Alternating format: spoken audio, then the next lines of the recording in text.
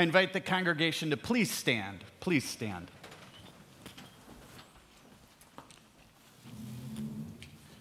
Blessed be the God and Father of our Lord Jesus Christ, the source of all mercy and the God of all consolation. This God comforts us in our sorrows so that we can comfort others in their sorrows with the consolation we ourselves have received from God. And together we say, Thanks be to God. When we were baptized in Christ Jesus, we were baptized into his death. We were buried, therefore, with him by baptism into death, so that as Christ was raised from the dead by the glory of the Father, we too might live a new life. For if we have been united with him in a death like his, we shall certainly be united with him in a resurrection like his. I invite you all to join as the family makes their way into the sanctuary. Join in singing that great hymn of faith, softly and tenderly.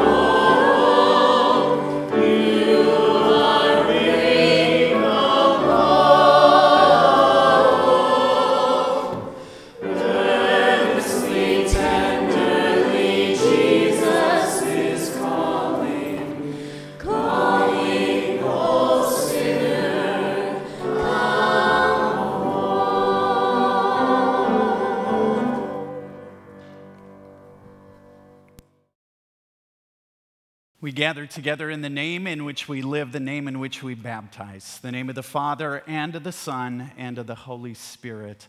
Amen. I invite you to please be seated.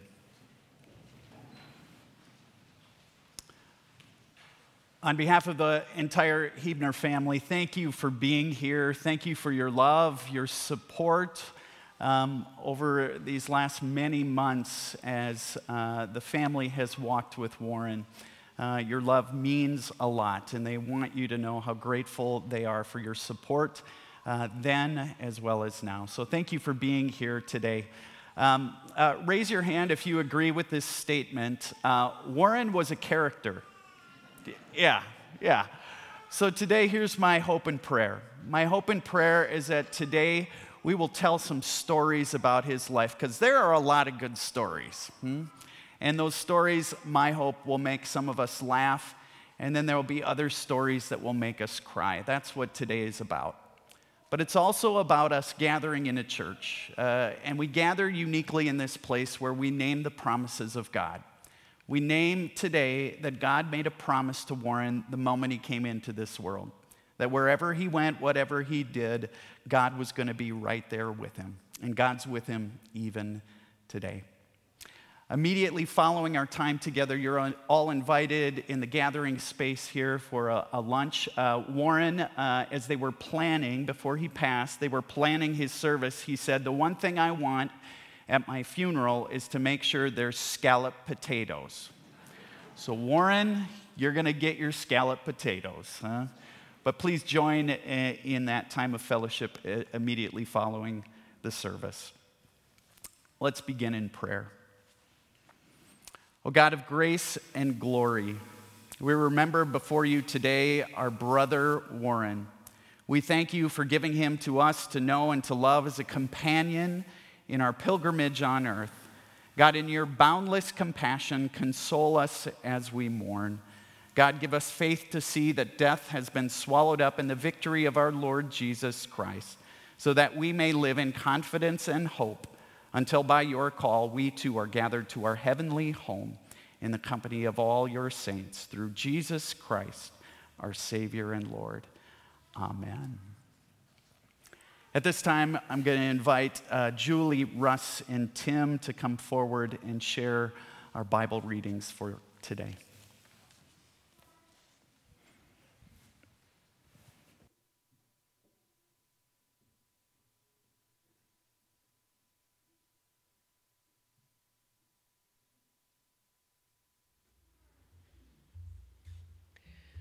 Psalm 121 I lift up my eyes to the hills. Where does my help come from? My help comes from the Lord, the maker of heaven and earth. He will not let your foot slip. He who watches over you will not slumber. Indeed, he who watches over Israel will neither slumber nor sleep. The Lord watches over you. The Lord is your shade at your right hand. The Lord will not harm you by day, nor the moon by night. The Lord will keep you from all harm. He will watch over your life. The Lord will watch over your coming and going, both now and forevermore.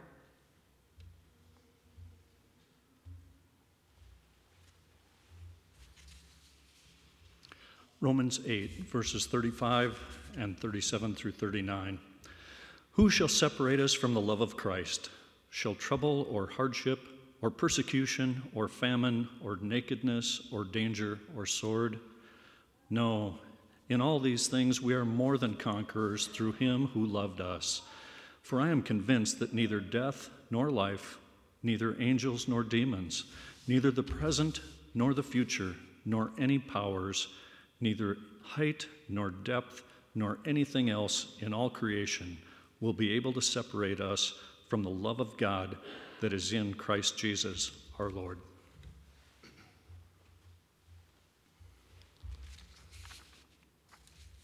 Revelations chapter 21, verses 1 through 7. Then I saw a new heaven and a new earth, for the first heaven and the first earth had passed away, and there was no longer any sea. I saw the holy city, the new Jerusalem, coming down out of heaven from God prepared as a bride beautifully dressed for her husband. And I heard a loud voice from the throne saying, Now the dwelling of God is with men, and he will live with them. They will be his people, and God himself will be with them and be their God. He will wipe every tear from their eyes. There will be no more death, or mourning, or crying, or pain. For the old order of things has passed away. He who was seated on the throne said, I am making everything new. Then he said, Write this down, for these words are trustworthy and true. He said to me, It is done. I am the Alpha and the Omega, the beginning and the end. To him who is thirsty, I will give to drink without cost from the spring of the water of life. He who overcomes will inherit all this, and I will be his God, and he will be my son.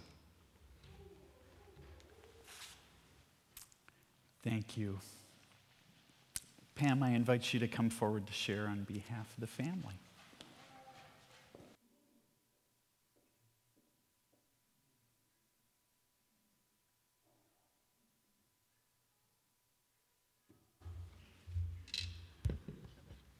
Grief is not a problem to be solved.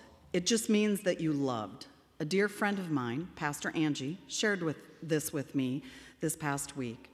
For those of you that don't know me, I'm Warren and Dolores' daughter, Pam. Today we are here to celebrate an amazing man who held many roles husband, dad, grandpa, son, brother, uncle, friend, and most importantly, child of God. Dad loved big and taught us to do the same. To know my dad was a gift to so many. His smile could light up a room. People naturally gravitated to him, drawn in by his infectious laugh and charisma. My mom shared with me that when they were first dating, she thought of him as kind, considerate, and caring. Decades later, I think we can all agree these words could be used to describe him. I have heard from so many people over the last weeks offering their condolences, and I consistently heard how kind my dad was. My parents showed us what a strong, healthy marriage looked like and how to be a true partner with your spouse. They were each other's best friend, celebrating the joys of life and weathering challenges together, side by side. Dad wasn't afraid to be a tough parent when needed, but also had a soft heart. I always knew as a child and an adult that my dad loved me and supported me no matter what. He was always my champion. Dad led by example in all parts of his life. You will hear people from his professional life say that he was a natural born leader, and I agree, regardless of what part of his life you are referring to. He was generous in so many ways and showed that it was important to give as well as to share of your time and talents. Not only was he my dad, but also my friend and mentor. He taught me that if you do the right things and do right by people, that success will follow. Oh, how right he was. He was the one that I could call to talk through things. He would listen and ask questions to help guide me to a solution. No matter who he was talking with, he was engaged in the conversation and listening. If asked, he would provide advice that was always solid. Dad lived by the motto work hard, play hard, and have no regrets. This was such a gift that he passed on to me that I have tried in turn to pass on to my boys. We did some of our hardest playing as a family at the lake. One of my fondest memories as a child was when dad would take me water skiing before going to work. When he became a grandpa, he loved nothing more than watching the boys play in the sand, swim, develop their lifelong love of fishing and water skiing. We will all make mistakes, but he emphasized the importance of learning from them and not regretting the decisions that you make. As long as you learn along the way and grow, there is no reason to have regrets. His glass was always half full, looking for the positive, even in challenging times. Dad needed to manage and lead even after retirement. We often laughed about it as a family that Dad was trying to manage a particular activity. He was a natural leader. Dad showed kindness, compassion, generosity, grace, and forgiveness to those in his life. He was a man of strong faith who knew that God was with him through the journey of his life. He had a great sense of humor or humor, depending on who you're talking with. His grandson Timothy got some of Grandpa's charisma. He fondly remembers the exchange of hankies for gifts, giving Grandpa the big red spoons so he could keep stirring the pot, and joining him in the back of the bus. To Adam, he passed on the gifts of instinct and intuition, the ability to see a clear path through chaos and then lead others to a solution. Family was so important to Dad. His family not only included his immediate family and siblings, but his extended family and in laws and those he adopted along the way. Visiting, attending life events, and talking on the phone with his family brought him great joy. Russ remembers being warmly welcomed into the family from the beginning. In addition to being his father in law, Dad was Russ's mentor, friend, and confidant. Dad considered Russ and Julie his kids. He took his role as grandfather seriously. He loved Adam and Timothy fiercely and made it a point to develop a special relationship with both of them. As young men, they will miss the ability to pick up the phone and call Grandpa, to be lifted up when struggling, and to share in the joys of their lives. There are so many gifts Dad shared with all of us that we will always remember. As we were talking about Dad's funeral, he made it a point to say he did not want the words that we shared to be braggy. Well, Dad, I'm bragging on you. You were the best of the best, one of the greatest people to have ever graced our lives, and you will be missed every day.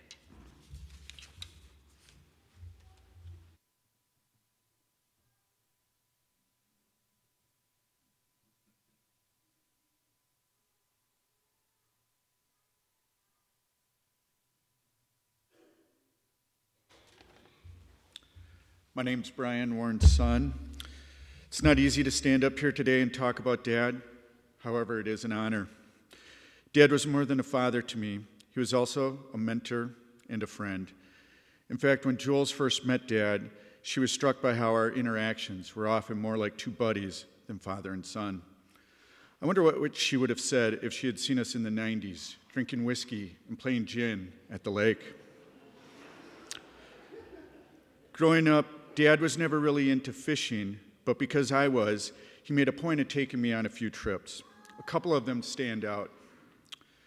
One trip that we recently reminisced about was ice fishing on Lake Mille Lacs. At night, Dad would wrap the line around his big toe so he wouldn't miss a bite. I wish I could say he caught a big one that way, but we did catch some fish. And I'm sure they would have tasted great if only we hadn't forgotten them in the garage until the spring when we started to wonder what that smell was. Another one was to Lake of the Woods in Canada. The owner of the resort was a friend of Dad's. Dad was kind of like Sid Hartman. Everyone was his close, personal friend, and it seemed he knew people wherever we went. His friend asked that we bring some potatoes with us, so we smuggled 100 pounds across the border, sweating bullets all the way. We had the typical Minnesota goodbye with Dad. It lasted about two weeks. I'm so grateful for that because we got to have some really special moments and say a lot of I love yous. Dad always looked for the silver lining in things, especially the difficult things. In that spirit, I'd like to share some of the things that I learned from Dad that illustrate the man that he was. When I told him that he was my mentor and that I had learned a lot from him, in true dad fashion, he said, That is nice. I've learned a lot from you too. And maybe he learned some silly random facts from me, but I doubt he learned the life lessons from me like I did from him. Perhaps the most impactful lesson was when he dropped me off at school one day. He gave me a firm handshake. He had long before taught me to always give a firm handshake, looked me in the eye, and said, You can do anything you know. You just have to work at it. That simple statement really stuck and has guided me as I've faced life's challenges and opportunities. I asked Dad what the best advice was that he ever got, and he said it was the value of hard work and that he had learned it from his dad. Dad was one of the hardest working people I've known, and I think anyone that knew Dad would agree that Grandpa's advice stuck and guided Dad through his life. Dad went on to explain that advice only has value if it is followed, otherwise, it is just words. Dad had a lot of health challenges, especially later in life. Just watching him get up, you could tell he hurt, but he rarely complained. I was often in awe of how he faced everything in life with a positive attitude. I remember having a conversation with him when he had cancer, and he said a positive attitude is the best medicine. Many years later, when I had cancer, I leaned heavily on following his example. To this day, whenever I talk to someone with a serious illness, I always tell them a positive attitude is the best medicine. Dad was a big man with a bigger heart. When the hospice social worker asked him what he did for a living, he told her about his career as an executive and a leader. He said, Some people that worked for me may have thought I had no heart, because of course, sometimes leaders have to hold people accountable. She told him that he was an eagle and that eagles want everyone to reach their full potential and soar. Earlier that same day, Aunt Monica had sent a message sharing a story from Grandma Huebner.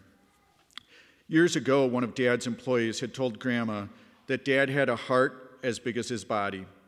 That brought a smile to his face.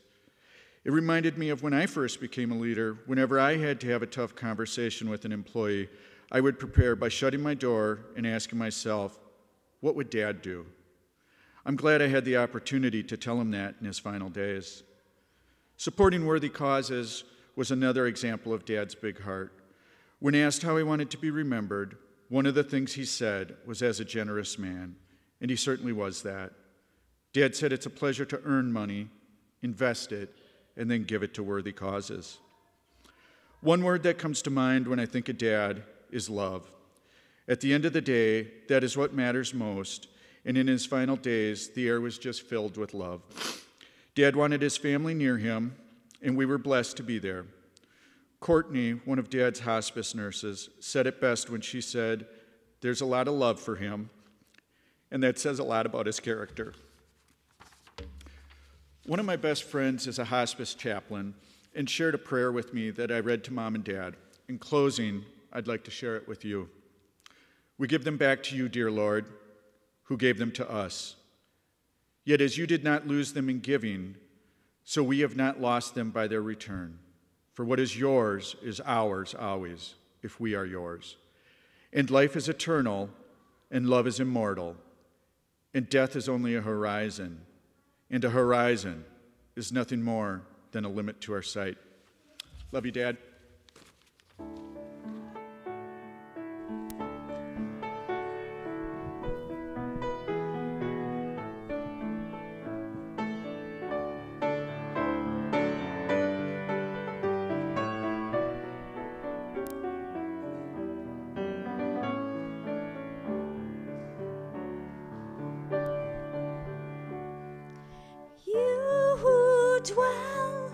Shelter of the Lord, who abide in their shadow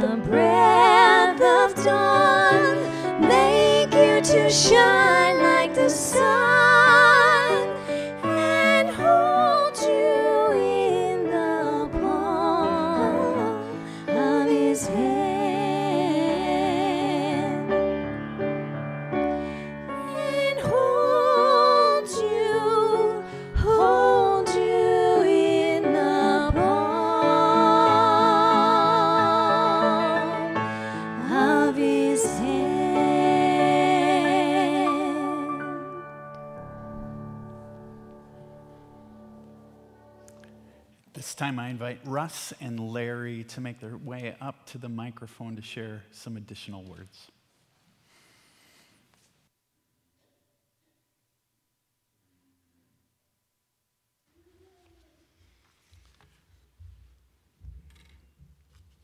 Last week, our family received a letter from Leon and Pat Westbrock, and it's my honor to share that with you today. Some people are born with special gifts that they are able to develop and use throughout their lives. Many athletes possess qualities of speed and skill, musicians with unique and powerful voices, innovators and event- inventors who create the future, and speakers who inspire us. Warren was born with a special gift. If I may have the liberty of changing a word from the classic musical Fiddler on the Roof, which was Dad's favorite, by the way, I would change tradition to charisma. The lead, Tevye, a poor milkman, sings of the difficulties of change versus tradition. Warren, a rural Minnesota farm boy, took on a world of change by using the most envied skill of all charisma. People loved him and believed in him. Pat and my memories go back close to 50 years when we met Warren and Dolores.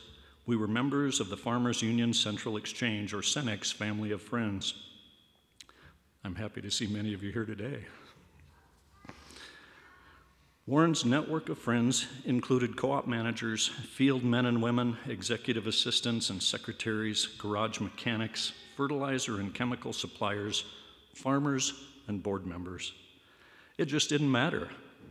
Whomever Warren met, he became their champion, their ambassador for help, is on their who do you call, who do you admire most list.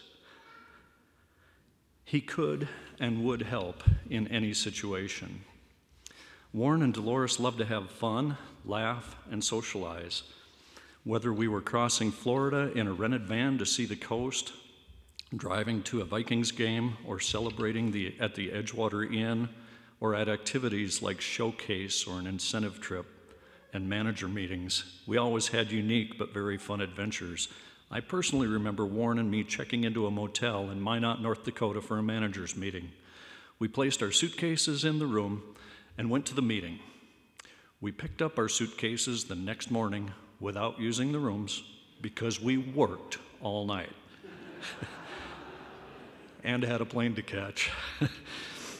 Warren could deliver unpopular messages to an audience of customers and could stand up in front of a group and accept criticism as well. I remember one customer told Warren where he could stuff his boots during a boot promotion Cenex sponsored. Yet, when that meeting was over, he was still loved and the messages were accepted and supported.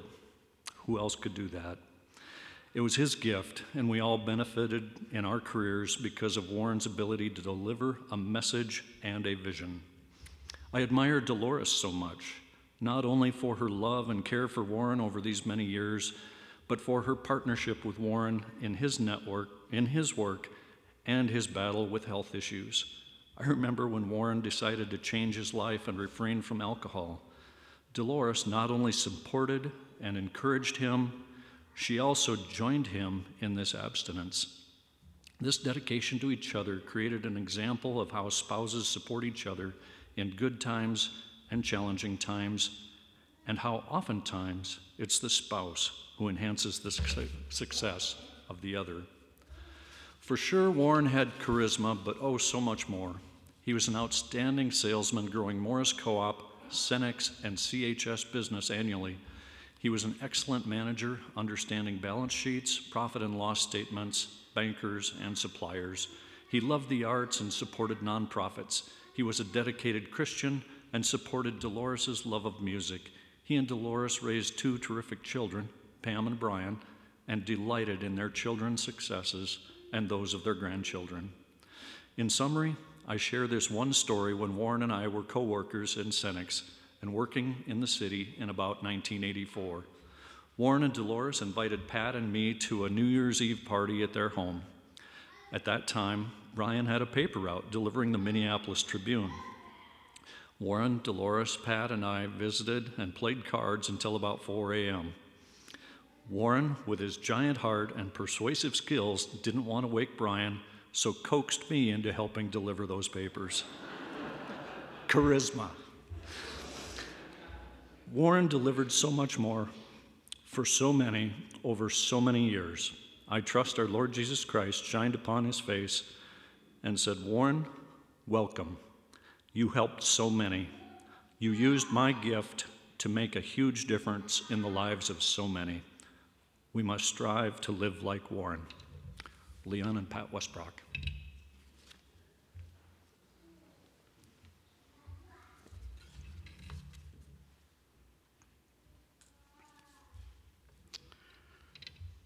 Dolores, Pam, Russ, Adam, Timothy, Brian, Julie. Today we're privileged to celebrate the life of your husband, father, grandfather. I am humbled to have the opportunity to share memories of a truly great friend. he mentored many that are here today, as well as so many more that are not with us. Warren lived a life based on doing whatever he could to make a positive impact on others. His motto, work hard, play hard, and have no regrets, was certainly lived to the fullest. As I've thought about both Warren and Dolores and how they've been so focused on being such great people to everyone they knew, being great hosts at gatherings of family, friends, and so admired and respected. Warren and Dolores, no matter where they were, touched the hearts of so many people at every opportunity they had. I have thought about Warren and Dolores and their work at Arizona Broadway Theater and the impact they've had on so many aspiring young actors by their generosity, as well as giving of their time to help ensure ABT, ABT's success. We should all find comfort in the many years of memories we were given through the time that we were able to spend with him and Dolores, including a lifetime worth of laughs, smiles, and stories. If you were a friend, Warren and Dolores made sure you knew it. In 2002, I had a, a pretty significant surgery at uh, Mayo. Two days after we returned to Bismarck, Warren and Dolores made the trip from Alexandria to come see us. We will never forget that. Pat and I were so fortunate to get to spend time with Huebners, not only at work for many years as Warren was my boss, but also in retirement in Arizona. One word to describe Warren was genuine. He was truly one of a kind and such a personable human being. He tried to treat everyone like they were the most important person in the room and always had time for people. His people skills were unmatched by anyone. I reached out to some friends of Warren's and asked for thoughts and memories. From Tom Larson, the many leadership meetings we held at Huebner's cabin on Lake Villard Many business decisions were made there as well. Great relationships built, and believe me, there was some fun too. Warren and Tom managed neighboring cooperatives. Tom always had fun teasing Warren that his uh, cooperative was his Tom's substation. And Warren would fire back at Tom and say, Your co op is my substation. From Brenda Leatherman, it is a loss of an incredible friend. The most amazing thing is that so many people feel that way. My first reaction when hearing of Warren's passing was that I had lost such a dear friend, but soon after it hit me that many other people were feeling exactly the same way. Warren had the ability, the ability to command a room full of people, but he was able to connect personally. Our paths crossed because of Cenex, on the surface, it would seem unlikely that we should have been friends. A vice president of sales and an accountant, single mom from Baltimore.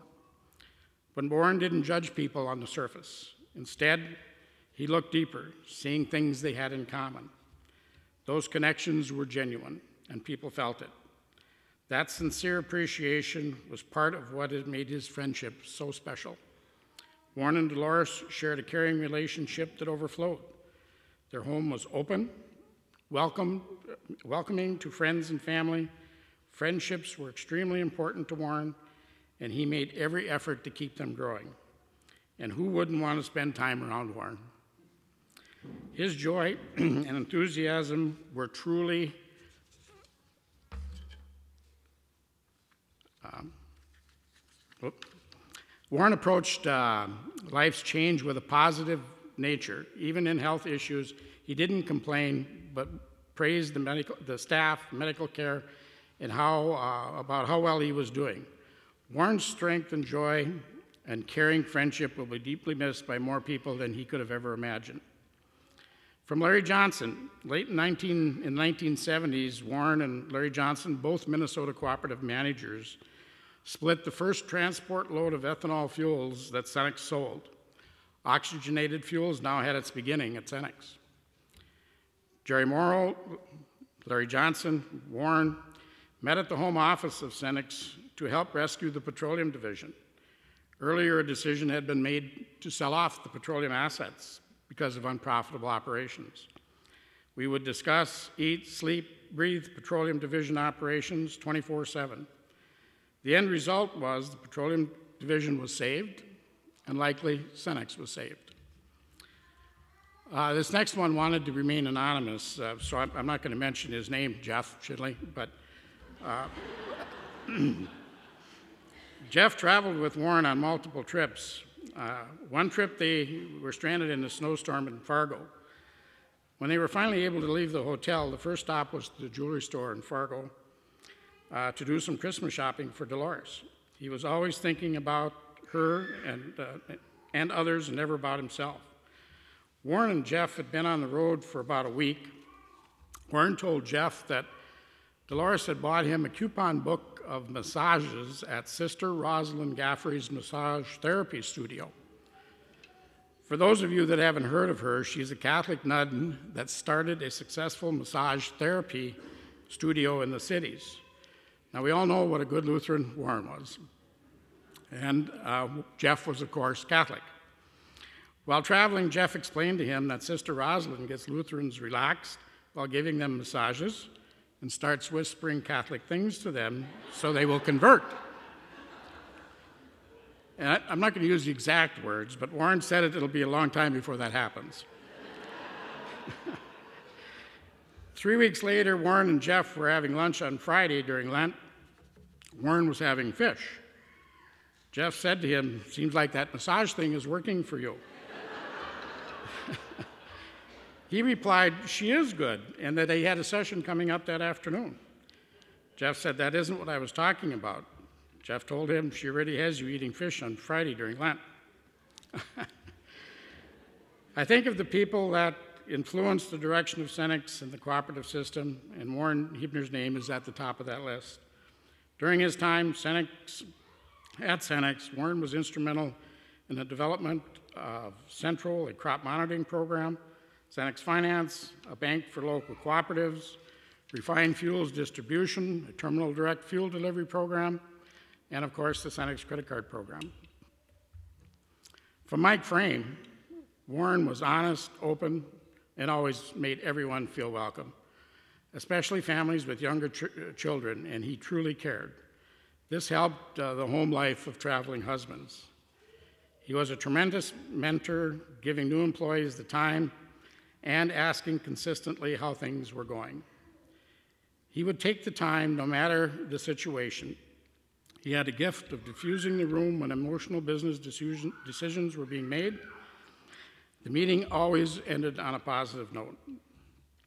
From Anwar Hussein, I've known Warren since joining Cenex in the 70s, found him to be a very caring, generous, and genuine person. His laughter and sense of humor had a calming effect both at work and in social environments. Warren seemed to know how to break tension filled discussion. He will be greatly missed. Some of my memories include the respect he held wherever he traveled. I'm from North Dakota, and they are known for being kind of tough on Cenex and field staff. I had been told many times by customers in North Dakota that we may not like the message Warren delivered, but it was always respected. In fact, I believe that Warren was the only person from the IGH office that the North Dakota Managers Association held a, a retirement party for and they paid for it. I remember a petroleum staff meeting in St. Paul that Warren, as vice president um, of energy sales, was kicking off a sales team meeting at 1 p.m. It's about 1:15. No Warren. Suddenly my phone rings. It's Warren. His exact words were, "Fuller, go down to the gas pump, get a jug. I'm out on 494. I'm out of gas, and no one needs to know it." Although we gather today to celebrate Warren's life, he truly will never leave us. We can still see him in the eyes of his family, in the lives of the people he impacted at work, at church, at ABT, and in retirement. May we all move forward with our lives, and as Warren said, have no regrets. Rest in peace, my friend.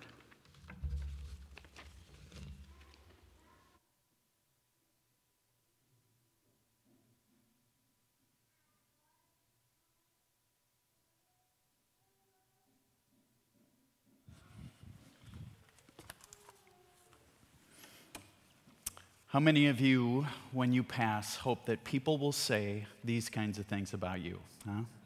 I think we all do. Hey, I want to take you all back to uh, the year 1944. Roosevelt uh, was president, World War II was in full effect. It was the year of the D Day invasion. Louis Armstrong, Bing Crosby, Billie Holiday were on the radio. Julie, Judy Garland was all the rage. But there, uh, there were all these things that were going on in the world. But for Lester and Gladys Huebner, on a little old farm out near Donnelly, I imagine, I imagine they were totally oblivious to sort of all that was going on in the world because Gladys, she was with child. She was expecting their first child, and on May 15th, 1944, little Warren came kicking and screaming into this world. And I am quite certain that for the Huebner family, life would never be the same again. And shortly thereafter, uh, the family would take little Warren to a church, First Lutheran Church in Morris. And there they would carry this little boy up the aisle. And they're surrounded by family, they're surrounded by friends. They would gather in the front of the church at a baptismal font. And there, some old pastor would dribble some water over his head, and the pastor would mumble some words. And I want to suggest today that those words were actually some really, really important words. You see, that day, the pastor would name the promise that God made to Warren the moment he came into this world. It's a promise that would be sure and it would be certain for him all the days of his life, through the ups and through the downs, whatever came his way, whatever he did out in North Dakota with his business buddies. It's the promise we heard read about in Romans just a few moments ago. Paul wrote, Nothing will separate you from the love of God. Nothing. Not life, not death, not the present, not the future. There is no power, there is no height, there is no depth. There's nothing in all creation that will separate us from the love of God that is in Jesus. Absolutely nothing. Well, folks, as we gather on the far end of Warren's life, we gather in much the same way that his family did some 78 years ago. We gather again in a church, surrounded by family and friends, to once again name the very same promise that was named all those years ago the promise that nothing ever did nor will ever separate Warren from God's love. Not life, not death, not anything. Nothing he did, nothing he didn't do, not anything he could have done or should have done or might have done. Nothing would ever separate him from God's love. That's the promise God made to him. And it was just as, it's just as true today as it was the moment he was born. It was true all the days of his life. You see, God was there as he grew up on that little farm near Donnelly. It was a different day and age. Growing up, he was the oldest of five kids. the oldest son, which meant he had a lot of responsibilities for all that went on uh, in the farm. Uh, he started driving a tractor when he was just five years old. God was there on the farm. It's there that he learned all about work ethic. In high school, I was told that his dad said to him, I suppose you can play football, uh, but you've still got to get your chores done. Well, he not only got all his chores done, he excelled in football too, and he was recruited to play for the Fighting Sioux of UND. You see, God was there. Again, Warren grew up in a different day and age. For example, as a kid, uh, he went down the road and he helped some neighbors with a, a little project on their farm.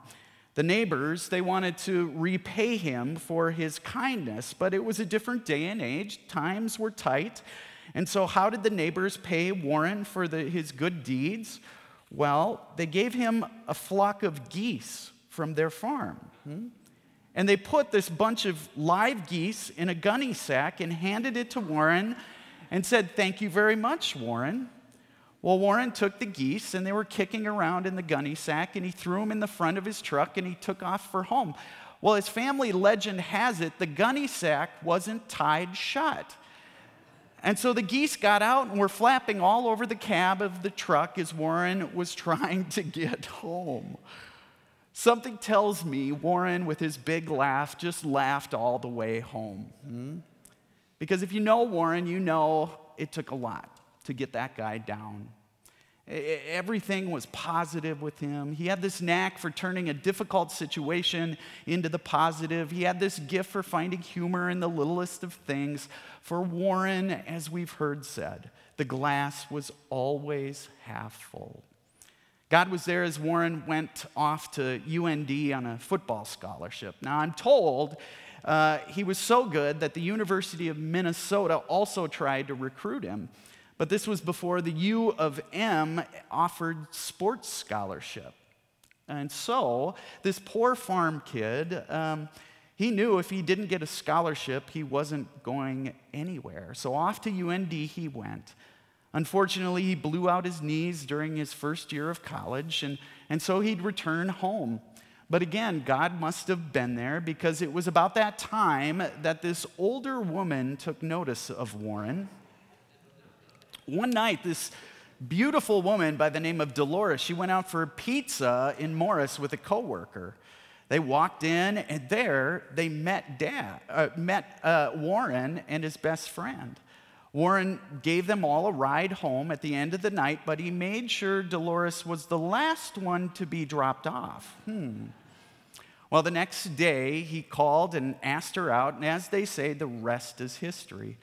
Get this, they met on, in January of 1964 and were so smitten with each other that they were engaged two months later and married five months after that. When Dolores sat down with the pastor at the church to prepare for their wedding, the pastor, I'm told, was awfully suspicious of all this. You see, they had moved just too fast. Huh?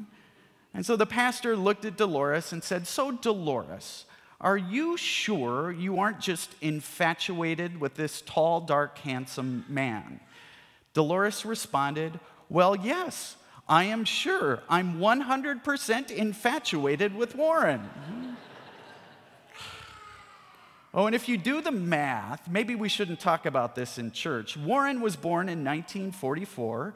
They were married in 1964. Now, do the math. Warren wasn't even old enough to buy his own beer at his own wedding. She had to buy for him. Hmm?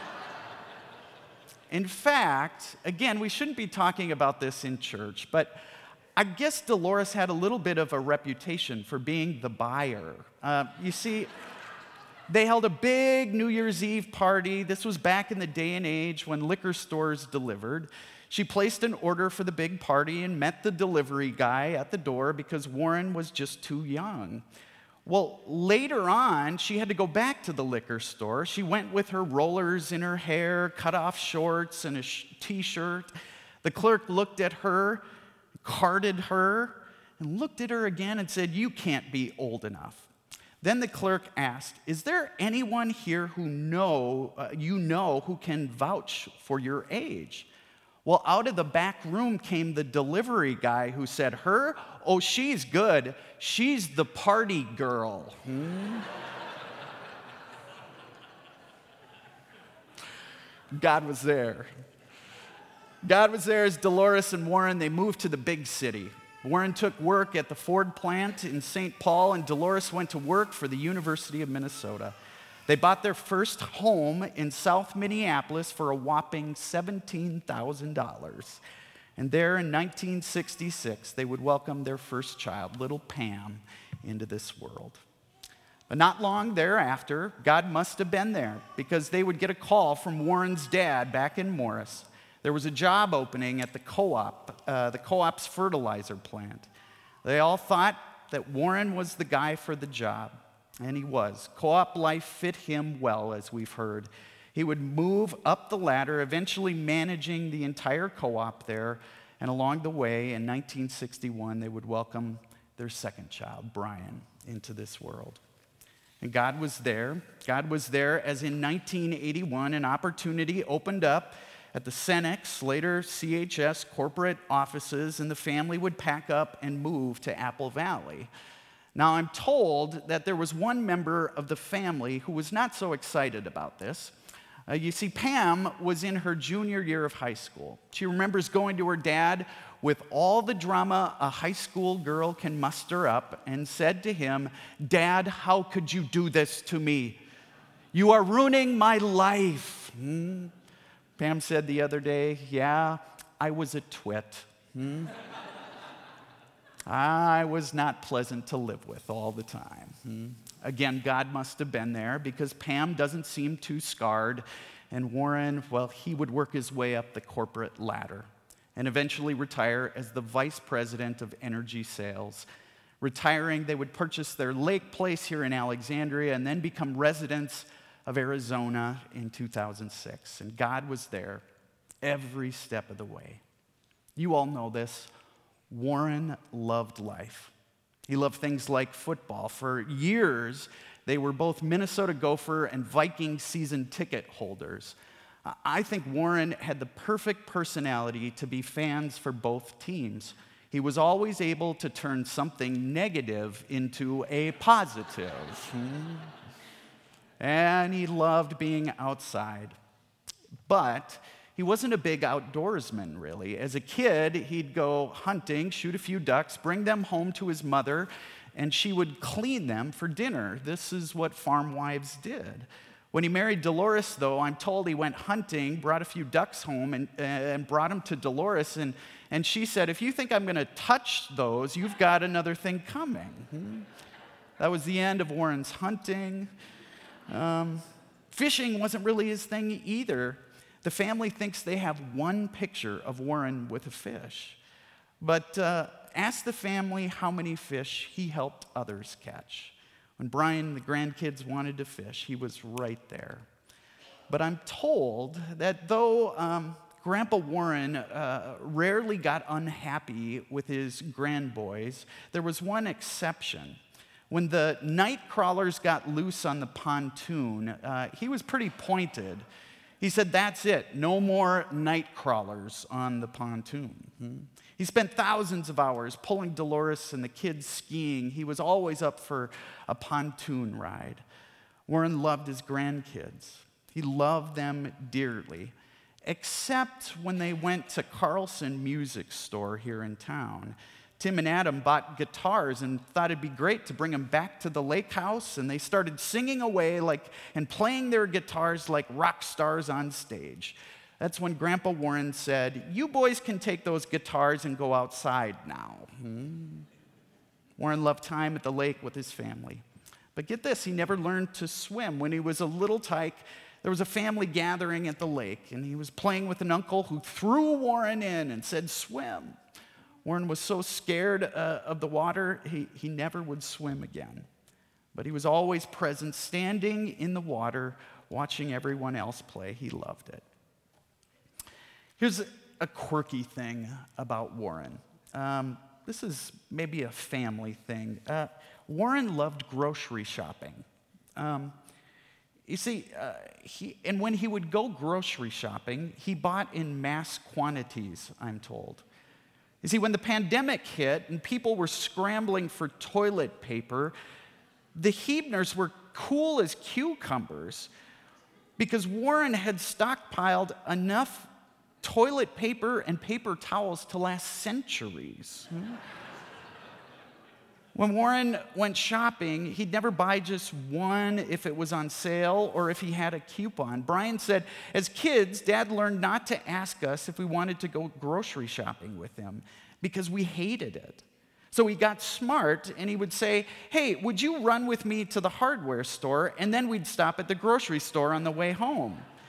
He would pull out all his coupons and hand us some coupons and cash and say, Now you take these items and go in that line, Pam. And Brian, you go in that line. He just loved to stock up. When Pam and Russ bought the lake house, they swear there were eight years worth of toilet paper stocked up in the cabin. We should also talk about the family's lutefisk tradition. You see, I'm told Dolores and Warren, they made uh, every family decision together except when it came to lutefisk on Christmas Eve. Warren always ordered it, and Dolores always prepared it. And this went on for years, I'm told, until finally one year Warren said, Well, do you think we really need lutefisk? Well, Dolores responded, I don't need that stuff. Do you know what they discovered? They discovered that Warren, when he ordered it, he ordered it because he thought Dolores liked it. Dolores always prepared it because she thought Warren liked it. Neither one of them liked it at all. Hmm. Oh, Warren, what a guy. Let's be honest, Warren was one of the good ones, huh? His family was his pride and joy. He'd do anything for them. In fact, this gives you a little picture of who he was. When his mother was still alive, Warren called her every single day. Hmm. Work hard, play hard, live life to the fullest. That was his motto. Dolores said, as a husband, he was wonderful. He was considerate, kind, and caring, and he was a lot of fun. He sure liked to tease. Pam said he was bigger than life. Pam recalled how when, they were da- when uh, she was dating Russ, she warned Russ about her dad. Now, Russ, she said, you need to know something about my dad. He is a really big guy. He has this way of sort of filling the room. He's got this big, booming voice. Dolores remembers how she first met the, when she first met the Huebners, she walked away saying, Man, those people are loud. Hmm. but honestly, Pam said, he was always supportive, always encouraging. I wouldn't have had the career I had if it weren't for my dad. Brian said he was more than a father, he was a mentor, he was a friend. From the very beginning, from the very beginning, he said to me, Brian said, You can do anything. Julie remembered how Warren was always 100% focused on you, whoever you happened to be. He was fun, silly, sassy. Oh, and there's one thing the family asked me to share with all of you today. If you ever got a note on Facebook from Dolores, it wasn't from her. Hmm? It was actually from Warren. Hmm? God was there. God was there from the very beginning to the very end. And let's be honest, there were some hard moments along the way. Warren wasn't ready to retire, but his sepsis and cellulitis and health concerns, they all forced it. And some of that, maybe it was caused from drinking, which he quit on his own in 1997. And some of it was just plain the weight of all the work he did. It was a long, slow decline, but through it all, he never complained. The glass was always half full, always positive, always grateful. And here's why. Here's why I think Warren had the attitude he had in life. He knew that every step of the way, through thick and through thin, whatever came his way, from the very beginning to the very end, God was there. Folks, as we gather at the far end of Warren's life, yes, we celebrate this larger than life, big hearted father and friend, But more importantly, we gather to give thanks to God for the promise God made to Warren the moment he came into this world. The promise that wherever he went, whatever he did, whatever he didn't do, God was right there by his side. And in the mystery of faith, we say that God is with Warren even today. And here's the deal the same is true for you, and the same is true for me. Whatever your life looks like, whatever you've been through, whatever, wherever the road has taken you, you too have a God who's with you every single step of the way. And for this we give thanks. Amen.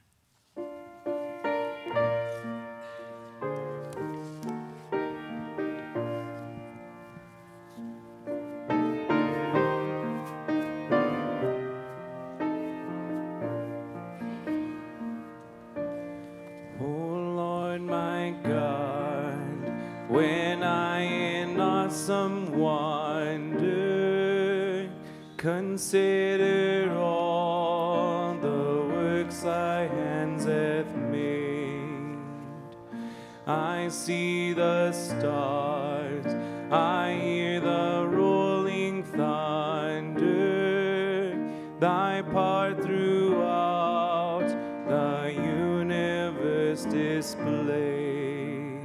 Then sings my soul,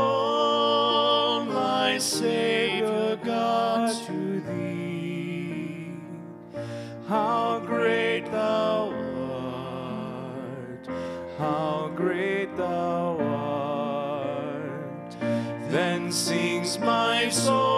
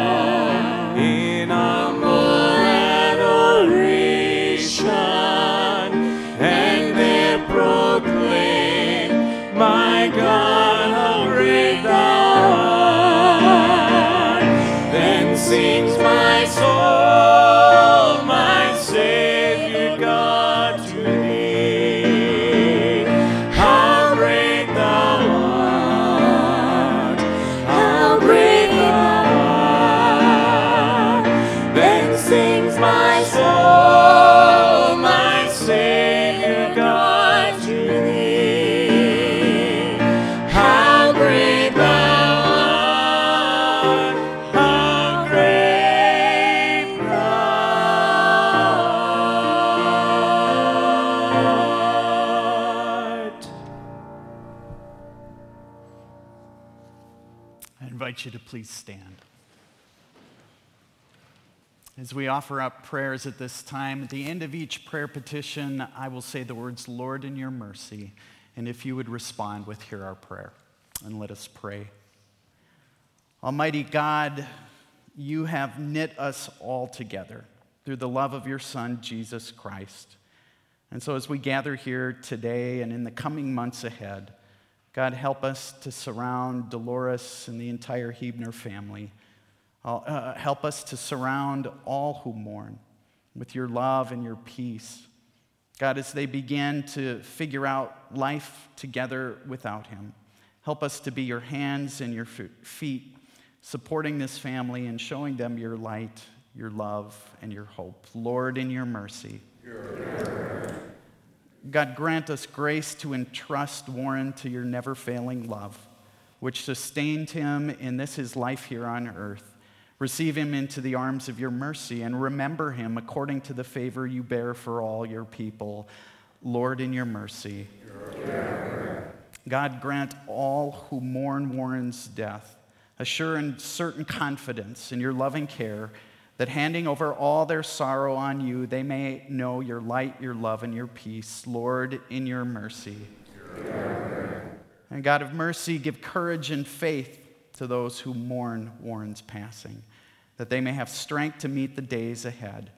Give them your comfort and your hope, and remind them of the eternal life they too will receive in you, Lord, in your mercy.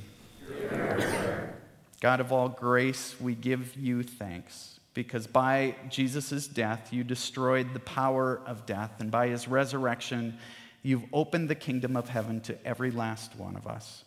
Make us certain that because he lives, we shall live also and that neither death nor life, nor things present nor things to come, shall be able to separate us from the love which is in Christ Jesus our Lord, who lives and reigns with you in the Holy Spirit, one God, now and forever. Amen. And you may be seated.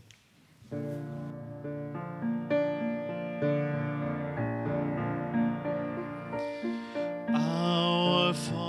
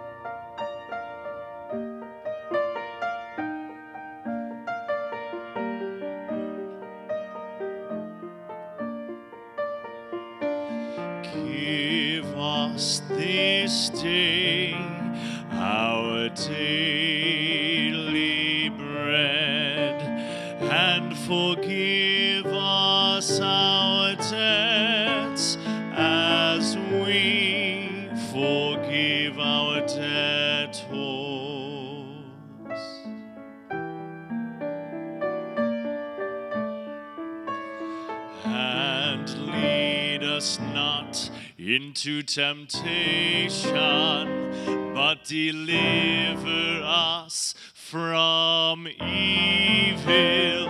For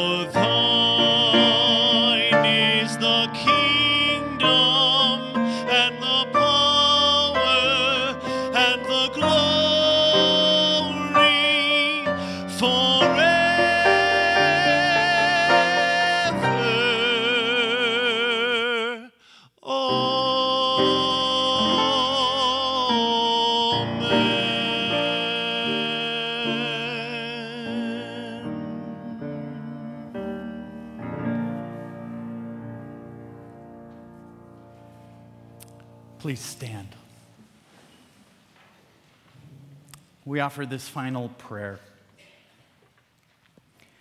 Into your hands, O merciful Savior, we commend your servant Warren. God, acknowledge, we humbly beseech you, he's a sheep of your own fold, a lamb of your own flock, a sinner of your own redeeming. God, receive him into the arms of your mercy, into the blessed rest of everlasting peace, into the glorious company of the saints in light. Amen. As we close our time together, you are all invited to join us uh, for a time of food and fellowship. There are some scallop potatoes that need to be eaten, huh? So please join us. You can just head straight out the back, um, stay as long as you want. There are lots of stories to be told about this great man's life. And so we give thanks. Thank you for being here with us today as we celebrate Warren's life. And as you leave this place, wherever it is that you go from here, and whatever it is that you do, may the Lord bless you and keep you. May the Lord's face shine on you and be gracious to you. May the Lord look upon you with favor and give you God's peace. In the name of the Father, and of the Son, and of the Holy Spirit. And all God's people said, Amen. If